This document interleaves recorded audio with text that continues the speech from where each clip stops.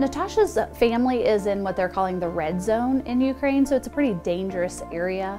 Um, she lost communication with her family for almost seven weeks where she didn't hear anything at all. I had Natasha for uh, human anatomy and physiology last year at Sandy Creek High School. And she was here through a scholarship program called FLEX. Um, and she was just like a super great student, very shy and reserved. As we were getting closer to that February date of when the conflict officially started, you could just see that she was stressed out. And so one day after class, I just pulled her aside and I was like, Natasha, I just need you to know, like whatever happens, you always have a place.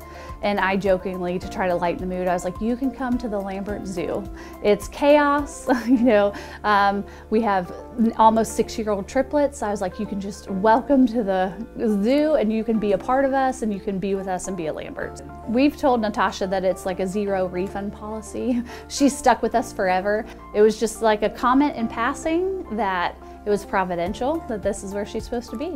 And I said, you know, I am never, I don't want to replace your mom. I'm not a replacement of your mom, but you know, I want to be there as a stand-in when your mom can't physically be here. So I'm here for the highs and the lows. As a teacher, obviously my number one um, responsibility is to take care of students. And so, yes, I want to teach them awesome content. I personally love science and I want to create like a world of science nerds. so, educationally, I want students to love science and to be passionate about it.